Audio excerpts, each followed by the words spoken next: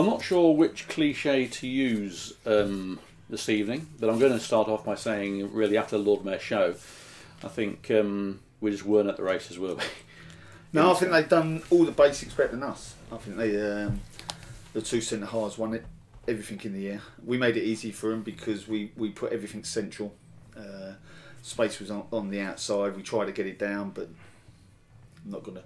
I don't want to moan about the surface, but the surface is, and they played the surface better than us today because uh, the the space because they played such a low block, uh, uh, and it we don't get the space in behind to use our, our pace. So fair play to them. They come with that, and, and they done done it really really well, and uh, that's that's them.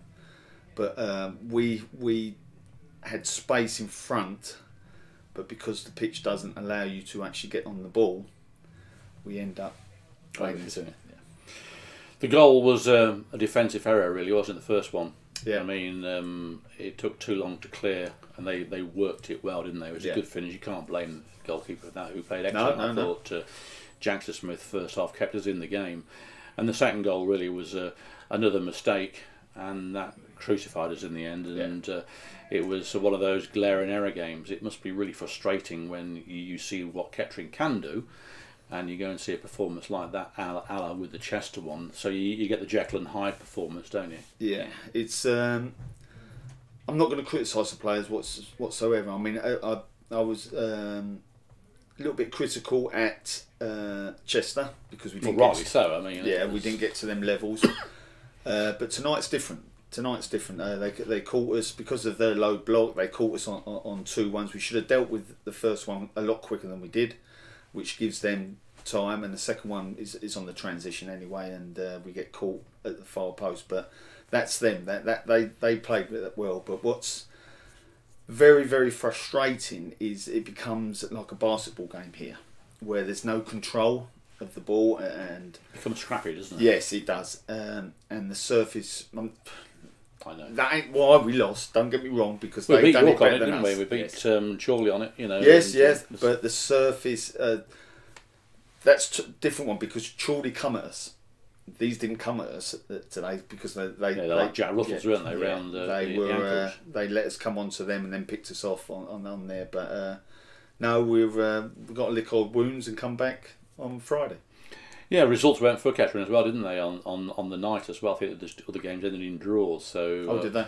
Yeah, it's not. You know, it's made it uh, difficult, I suppose, but the, it's still there, isn't it? You know, and people are going to be disappointed, frustrated, like we all we all are were.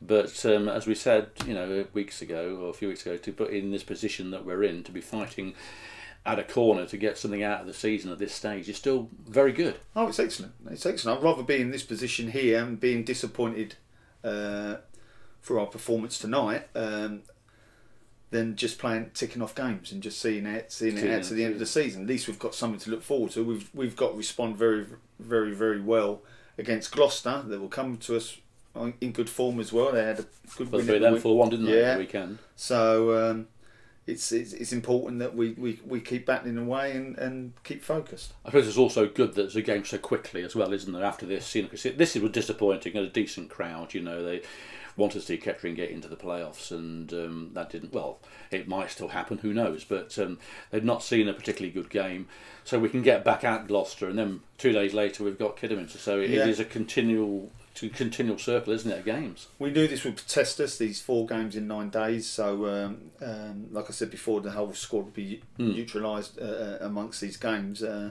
Is that why Crawford didn't start? You just give him a bit of a rest. Well, he felt his hamstring at Farsley, uh, so we have to be careful with that. I don't want him out long term. Uh, so uh, he came on and gives, gave us a spark, um, which they have to do anyway. Anyone coming off the bench have to. So we were chasing it a little bit, and we put four forwards on. But again, it was it was very much um, a lot of the balls were straight down the middle, uh, which made it easy for them. It was the second goal that was the killer, really. I think you know we may have got something out of it. So at one point, I did think, "Where's the goal going to come from?" Yeah. And especially with that great save from the keeper from Stead's header. I mean, I, I was up. I thought that was in. It was a fantastic save. Yes, at first uh, that that was that was a big Yeah, that was big a turning like a. Jim that was, Montgomery yeah, save to me no, against Sunderland. You know, it was uh, a save. fantastic save. you Yeah. know, and then the one that he saved earlier, he played well the goalkeeper. That's what they're there for, Yeah, obviously. yeah, definitely. You know, but little things like that can change the game. You know, I think, Yeah. and uh, I thought, you know, we'd we'd have gone there with that with, with Stead's header. But uh, second half, we didn't create a great deal in front of goal. Cameron Mason didn't have a lot to do, did he? Or um, Owen Mason even, Yeah, and didn't have a lot um, to do in that second half. As you said, they marshalled as well. I think so. I've, full credit to them. Mbika at the back, I thought was excellent. Yeah, you know, I thought was- the two centre halves were excellent. They headed everything. They got first contact every time it went in their box. Uh, no, so I got no complaints about the result whatsoever. Uh, I'm frustrated because uh, we have no control uh, in in the games that we're playing here, uh, and that's my frustration. Tactically, how are you going to deal with that for future games? It's not going to get any better, is it? Um, The pitch is going to get harder as the as the it's either one thing or the other. Really, it's either a quagmire or it's it's really hard. And as the summer begins to develop, we've only got three more games at home, I think. You know, so we're going to have hard pitches unless we have some rain. Yeah. How does that tactically? How, how do you look at your team talks and what you want to do? And then you go away to the plushness of other clubs. It, it must be difficult tactically to, to deal Oh, with. it is. It is. It is, um, and that's why. Look, I'm, I want my teams to be in control of games, and I being in control of games is having the ball, uh, and and it's hard here. It really is, and uh, we're um, we felt I felt for them today because we knew where the space was and where we could try and get it, but it was actually trying to get hold of the ball and playing into them spaces. So uh, no, we'll go again. We'll go again, and uh, um, we, we we need a reaction for Friday. Definitely. Thanks for coming in. I know you probably didn't want to come in after that, but uh, I could appreciate that as well. Nah, but uh, you know, thanks for coming in, and yeah, let's hope we get back at the races on on Friday, and uh, we'll see you then. Yep, Okay. brilliant. Cheers.